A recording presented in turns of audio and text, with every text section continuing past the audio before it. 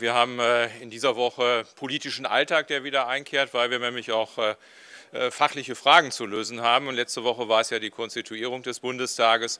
Und wir haben zwei große Themen. Das erste große Thema ist tatsächlich, dass die epidemische Lage, die durch den Deutschen Bundestag festgestellt worden ist, ausläuft. Die Ampel hat dazu einen Gesetzentwurf vorgelegt. Wir haben nicht so ganz verstanden, wo da die qualitative Verbesserung ist und warum äh, es jetzt äh, so ist, dass äh, wir keine epidemische Lage mehr haben.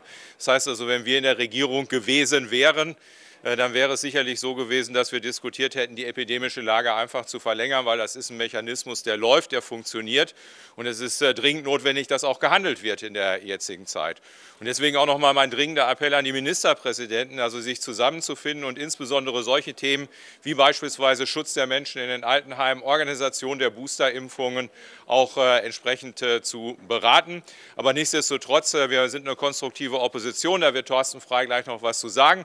Wir werden werden den Gesetzesentwurf konstruktiv äh, begleiten. Wir haben auch Vorschläge, was man äh, noch besser machen kann. Aber wie gesagt, also das muss uns die Ampel in der nächsten Woche dann entsprechend auch beantworten, warum die epidemische Lage angesichts der hohen Infektionszahlen, angesichts der zunehmenden Hospitalisierung, angesichts der Nachrichten, die uns auch aus den Intensivstationen erreichen, äh, warum die dann nicht verlängert wird. Das zweite große Thema ist das Thema Belarus, ist das Thema Migration angetrieben durch äh, Lukaschenko. Äh, es ist eine absolut inakzeptable Situation, die wir momentan haben. Und es ist wichtig, dass auf allen Kanälen da jetzt daran gearbeitet wird, dass wir eine Lösung kriegen, auf außenpolitischer Ebene insbesondere. Es ist wichtig, dass die Polen bei ihrem Versuch, die europäische Außengrenze zu schützen, auch von der Europäischen Kommission und nicht nur von der Bundesregierung, also vollumfänglich auch unterstützt werden. Äh, die Polen leisten da eine wichtige Arbeit für ganz Europa und haben deswegen also auch unsere volle Solidarität an der Stelle verdient. Äh, das Ganze geht einher mit äh, Ampelgesprächen, zumindest wenn ich das ernst nehme, was in dem Sondierungspapier drin steht. Die sagen, wir wollen eine liberalere, eine offenere Politik mit Migration. Wir wollen Spurwechsel haben. Wir wollen das Staatsbürgerschafts Recht ändern. Das sind äh, Pull-Faktoren, die dort äh, auf den Weg gebracht werden, die nicht gut sind. Und äh, ich denke, das Thema Migration wird uns noch sehr, sehr intensiv beschäftigen. Ansonsten würde ich einfach mal weitergeben zu Thorsten Frei. Vielen Dank, meine sehr geehrten Damen und Herren. Ich kann im Grunde genommen genau da anknüpfen, wo Ralf Brinkhaus geendet hat.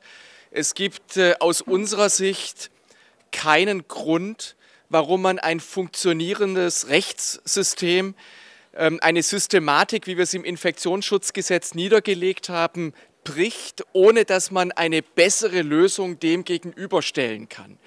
Und wir werden in der Tat uns sehr intensiv mit dem Gesetzentwurf beschäftigen, sehr konstruktiv auch. Aber Stand heute muss man sicherlich sagen, ist diese Anforderung nicht erfüllt. Ähm, Stand heute ist es so, dass die Mehrheit im Deutschen Bundestag die epidemische Lage nationaler Tragweite auslaufen lassen möchte, ohne im Gegenzug den Landesregierungen die Instrumente an die Hand zu geben, die es ermöglichen, die Pandemie wirkungsvoll zu bekämpfen und damit eben auf die hohe Neuinfektionsinzidenz, aber auch die hohe Auslastung der Intensivkapazitäten Rücksicht zu nehmen. Und aus unserer Sicht ist es ganz entscheidend, dass wir klare rechtliche Rahmenbedingungen bekommen, beispielsweise für Themen wie 3G am Arbeitsplatz.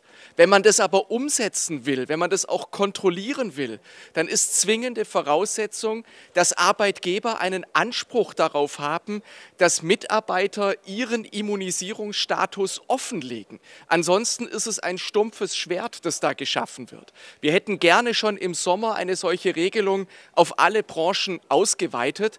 Das war mit der SPD nicht zu machen und ist für uns eine Kernforderung zum jetzigen Zeitpunkt. Darüber hinaus brauchen wir klare Regelungen, was das Regime von 3G, 3G 2G, 2G beinhaltet, um deutlich zu machen, dass wir alles tun möchten, um Einrichtungen insbesondere auch zu schützen.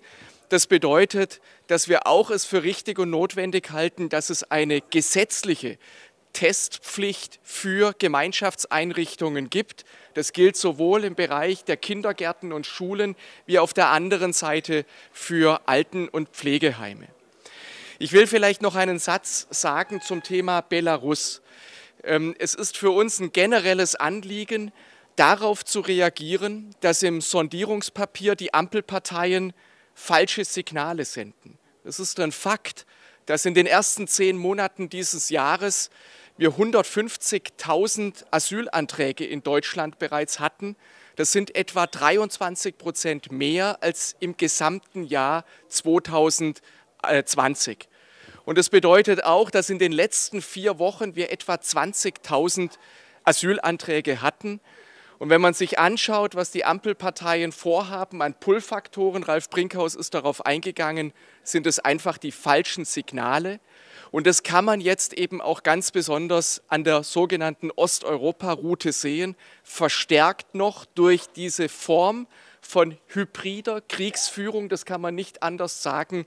Der Diktator Lukaschenko setzt Menschen ein, um in einer ganz perfiden Weise eigene machtpolitische Ziele durchsetzen zu können.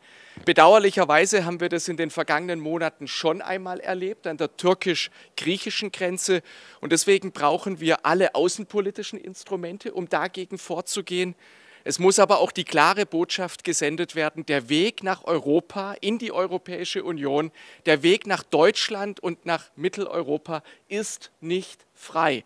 Und äh, deswegen glaube ich, ist es ganz entscheidend, dass wir Polen bei seinen Bemühungen unterstützen, die europäischen Außengrenzen wirkungsvoll zu schützen. Das ist zwingende Voraussetzung dafür, und das haben wir immer deutlich gemacht, dass Binnengrenzen im Schengen-Raum keine Rolle mehr spielen können. Und deswegen bin und sind wir sehr dafür, dass wir auch in Europa mit einer klaren und eindeutigen Stimme sprechen und den Polen gegenüber nicht in einer Art und Weise verfahren nach dem Motto, wasch mir den Pelz, aber mach mich nicht nass. Wir haben klare Anforderungen an die Länder, die an den europäischen Außengrenzen liegen. Wir stellen fest, dass Polen diesen Anforderungen gerecht wird und dafür hat das Land auch unsere Unterstützung verdient. Vielen Dank. Wir haben die Gelegenheit für zwei Fragen. Frau Schwitzer vom Mitteldeutschen Rundfunk, Ihre Frage bitte. Ähm, Herr Brinkhaus, vielleicht noch mal in der, im Konflikt Belarus äh, konkret nachgefragt. Was kann man konkret machen jetzt? Es geht ja auch um Menschen, die dort festsitzen. Und was ist dabei Ihre Erwartungshaltung auch an die Ampel? Ja gut, also ich meine, die Erwartungshaltung an die Ampel ist das, was äh, Thorsten Frey und ich gerade gesagt haben, dass da jetzt also auch keine falschen Signale gesetzt werden, äh, dass also äh, die Situation sich dort verschärft. Und jetzt muss man sich genau angucken, also wie werden die Menschen nach Minsk rangeführt, wie kommen die Menschen von Minsk an die Grenze. Da werden wir gegenarbeiten müssen und da muss man auch sagen, wenn da Fluggesellschaften beispielsweise kooperieren, dann ist das nicht gut und da muss man sich auch überlegen, wie man dagegen vorgeht. Und der nächste Punkt ist, und da laufen ja auch die Gespräche auf der europäischen Ebene, äh, wie man also mit weiteren Sanktionen gegen Belarus umgeht. Vielen Dank. Herr Blank von der Deutschen Presseagentur, Ihre Frage bitte. Herr Brinkhaus, war es ein Fehler des Gesundheitsministers zu sagen, dass die epidemische Lage auslaufen soll? Und erwarten Sie in der nächsten Woche eine MPK zum Thema Corona? Also ich äh, fände es äh, richtig, wenn die Ministerpräsidenten, die ja im Rahmen der geltenden Gesetze äh, sehr, sehr viele Handlungen und sehr, sehr viele Maßnahmen auf den Weg bringen können, sich nochmal abstimmen. Also gerade im Bereich äh, Schutz von vulnerablen Gruppen und gerade auch im Bereich der Menschen, die in den Pflegeheimen leben. Also ich möchte es auf alle Fälle vermeiden, dass wir noch ansatzweise wieder eine Situation haben wie im Dezember letzten Jahres, wie im Januar diesen Jahres, äh, dass wir dort viele Todesfälle haben. Also ich glaube, wenn wir da nicht raus lernen, äh, dann machen wir einen Riesenfehler.